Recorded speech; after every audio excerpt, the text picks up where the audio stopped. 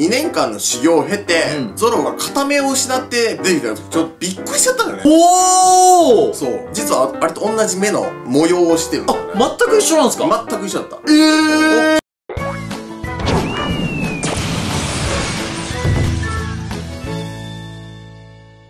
どうもクイッキーです WCI トイです小田さん、はい。なかなかかっこいい通りなって多いじゃないですかワンピースって。天才笑かせ師東野みたいな？えどういうこ天才笑かせ師東野みたいな。と笑かせ師でどんな職業人を笑かす職業のことですね。受けてへんのに。で、どっかんどっかん言うてますよ、お茶の間は。今この瞬間に今この瞬間に。いやチャンネル消そうとしてんじゃんみんな。チャンネル変えないで。実はですね、はい。有名な話なんですけど、はい。ゾロに関することで。ゾロですか？そう。おー。ゾロってやっぱ麦わらの一味の中でも絶対なくてはならない、そりゃそうですよ。まあ人気もめちゃくちゃあるし、初期から見てる人は特にやっぱゾロの中成長とか強さに憧れる部分ってあるやん。一番最初の仲間になった男ですからね。そうそう。だからこそ2年間の修行を経て、うん。ゾロが片目を失ってブワーってあの巨大な船を切り倒して出てきた時ちょっとびっくりしちゃったよね。確かに。なんか目傷いってましたもんね。気づいてんだうん。よその傷が、は一体何なのかっていうことって、はい。考察とか、うん。言ったりするやんかこういう雰囲気なんちゃうんかみたいな、そういうことを今日話していこうと思うんですよ、えー。わはい。かりました。何その感じ。わかったなーって感じです。ああなるほど、はいじゃあ東野くんは片目になったゾロってどう思うの？でも、ミホークが、わざわざそういうことししないと思うんですよね、今更。もしかしたら2年の間に、ミホークとゾロでなんか巨大な敵と戦ったんじゃないかとか。または、最初のルフィがこうやってペイって傷つけたみたいにあ、ミホーク、俺の覚悟を見てくれパシャみたいな。あパシャすすいません、ゾロファンの皆さん、嘘です。そもそもゾロの師匠って今鷹の目のミホークなわけだけど、はい鷹の目ってそもそも最初から言われてるのって何でだろうと？僕、やっぱりそれはね、イーグルアイの持ち主だと思うんですよ。黒子のバスケになってる戦場をね、俯瞰して把握できると思うんですよ。でもそれってあながち僕も合ってるかなって実は思うところがあってお大体見た目でね言われることってじゃ例えば麦わらのルフィとか、はでゾロなんか最初まあ今はあんま言われてないけど海賊狩りのゾロとかそうですねやってたこととか見た目の分かりやすいチャームポイントみたいなところで通りなんてつけられたりするやん濡れ髪のカリブーとかね。そうそうでも鷹のミホークってどういう意味で鷹の目なんだろうって最初はあんまり不思議に思ってなかったけど今思い返してみると深い感じがするんだよね。言いたいことが分かってきましたね。わかりますか、はい。まあ、その証拠にゾロの師匠が、まあ、ミホークであると、うん。じゃあ片方の目だけ今閉じてるよね、はい。だから鷹の目を逆から読むと片の目。片の目のゾロってなるやんか。鷹、肩ってことですか？そうそう片方の目だから。だからそろそろゾロの通り名も変わるんじゃないかなとは思ってんだよね。肩の目のゾロに。片の目のゾロとか、もしくは鷹の目を受け継いでるのかわかんないし、もしくは三刀流のゾロなのかもわかんないし、はいはいはいあえて三刀流ってつけてないのは、もしかしたら和の国で四刀流とか、違う流派になる可能性もあるなとか思うと、なるほど。なかなか海賊狩りのゾロを外さないところの理由がなんとなく見えてくるななんていうのも思ってるんですよ。その辺のゾロの考察はちょっとまた次に置いときましょう。もしそれ気になる方は高評価とリクエストだけしといてください、コメントで。お願いします。はい。まあ、今回目についてだけね。じゃあ、やっぱり僕は、ワンピース初期から見てて、1997年から、まあ、ワンピースはスタートしてるんだけど、うんその時にちょっと時代の前にって、ジャンプ黄金期っていうのがあって、はいその後に、まあ、ルローニケンシンっていうのがものすごく流行ったんだよあー、入りましたね。僕らの大好きな。ルローニケンシンは和月先生っていう方がね、はまあ書いてるんですけど、うんうんまあ有名な話としては小田先生もそこでアシスタントとして働かれていたじゃないですか。そうですよね。和月先生がいた師匠だよね。もうゾロ,、はいゾロの師匠がミホークのように、はい小田先生の師匠が和月先生みたいなものだとしたら、はいはいはいはい結構こう師匠から受け継いでいるものっていうのは大きいと思うんだよね。あー、なるほど、なるほど、なるほど。じゃあ、うんルローニケンシンにも有名な傷を負ったキャラいますよね。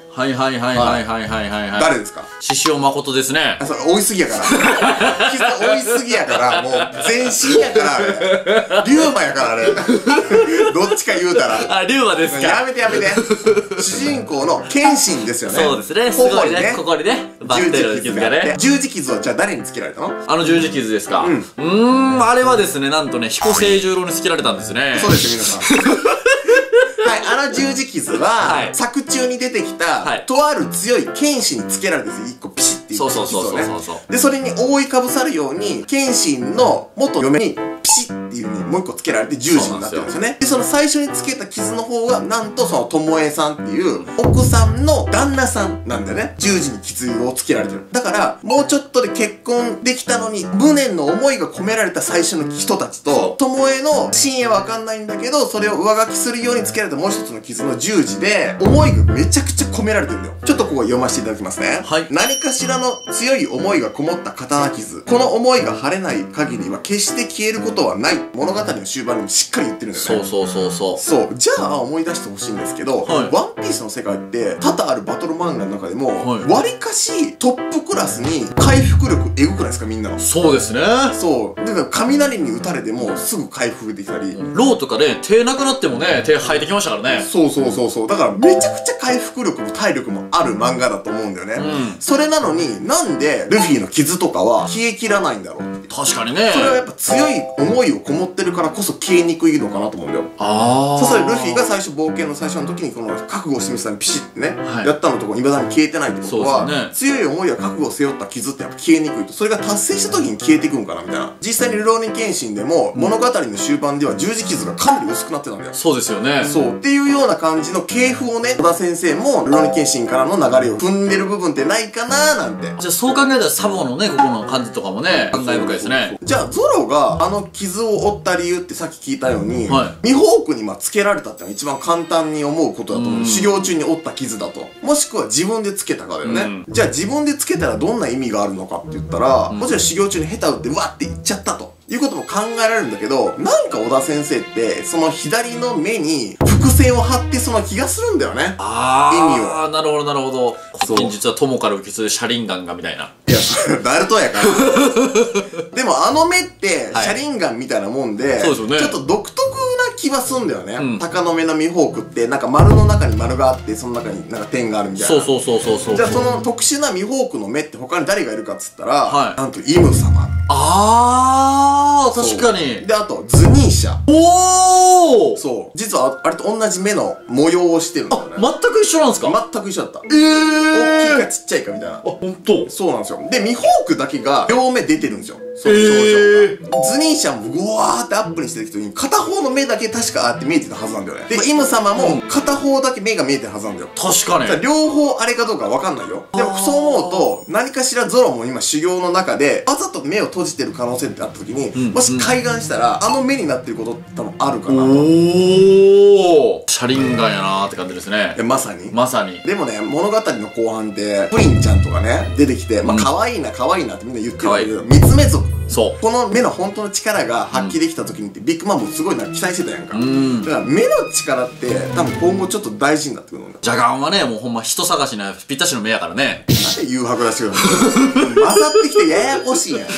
はいさあ、プリンちゃんの目とか、はいゾロの目っていうのが今後注目されてくるように、はいルフィっていうのは万物の声を聞けるような感じの素振りが見えるやん、今。まあ雰囲気そんな感じですよねそうそう。だからルフィは聞く力。だからゾロは見る力に長けるのかな、みたいなことをなんか思えるみたいな。はいはいはいはいはいはいはいで、それも今、修行中だったら、すごく理解できると思うんですよね。で、その証拠にね、ゾロが目を閉じたって言うけど、はい浅く見えない？あの傷って。なんか線がスッて書いてあるだけでしょうん藤虎の画像見てよ、こちら。結構がっつり入ってるでしょ確かにそう、藤虎も自分で目を閉じたっぽい描写があるよなんかそうですよ言うてましたよね閉じなきゃよかったみたいなこと言ってるから、多分自分でバーってやっちゃったんやろね。うんこの傷って、ルフィの胸の傷と似てるんだよ。うんうんうんそう、だからがっつりいってんだよね。で確かにも、ゾロの傷って、スッて線が入ってるだけなんだよ。うんメイクかなって感じぐらいですよね。そう、だから、修行の一環でなんか閉じる剣を与えられてる感じもしなくもないかなと。実際にそのジャンプ黄金期のドラゴンボールだって重い道着を着て修行してて、見た目はわからないけど修行してるっていう描写がそこで流行ったんだよ。確かに。悠々白書も同じで、ユウスケが普通にトグロとかと戦ってる時も、見た目は普通なんだけど、アンテ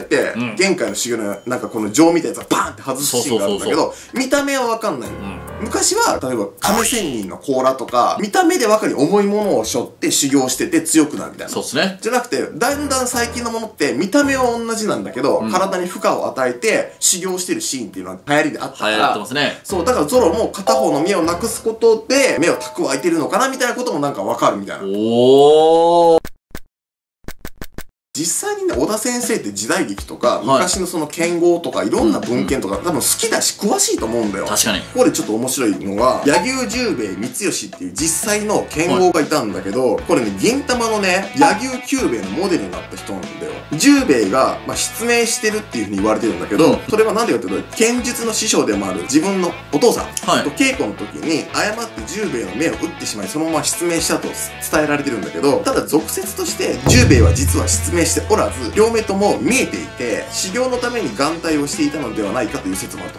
あー、なるほどなるほど。そうそう。だからこれを照らし合わせるともしかしたらゾロも、まあ、新世界で戦う強敵に備えて修行の一環としてわざと、まあ、片方の目を見えなくしているんじゃないかあー、じゃあほんまに追い込まれた時には、ふん俺の本気はここからだ、みたいな。みたいなことですね。そう小田先生もなんかさ「ワンピースって海賊の物語だけど眼帯してる海賊って一人も出てきてないやん確かに。これが唯一眼帯してるキャラが今後出てくるって一人だけ言ってるやんかだからこれ本当に眼帯をしたかったんだけど出せないからそういう風にわざとまあ演出してるのかなみたいな。まあ、というのがゾロに関する目の考察なんだけど、はいもう本当にたくさんのなんかパターンがありすぎて、確かにきっとみんなが予想してない方向とか、その時にままた面白いと思ったところに多分小田先生はまあ進んでいって目のことをまた扱っていくんだろうって思うんだけどね。そうですよね。うん。まあ、和の国にもゾロがさ、一人だけゾロだけちょっと単独行動とかも目立つんで、きっとね、なんかゾロの成長がここで分かる描写が出てくると思うんだよ。確かに。その時に目がパーンって開眼して、普通の目なのか、シャリンガンっぽい目なのか、うん。鷹の目を引き継ぐのか本当に閉じたままなのかわからないけどもそういう展開を僕たちは楽しみにしておりますはい、というわけで本日のご用意ぜひ高評価教えてください。お願いします他にもゾロの考察聞きたいよろしくチャンネル登録よろしくねはーいまだまだ言いたいことたくさんあるのでよろしくお願いしはい、まますたやってきます。はいそれでは、See you! バ僕今日、はい最初に、うん鷹っていう話してたじゃないですか、うん鷹の目どうのこうのみたいな。最初、鳥鳥の実モデルイーグルか思いましたわ。鷹ですからね。これが本当の鷹の目。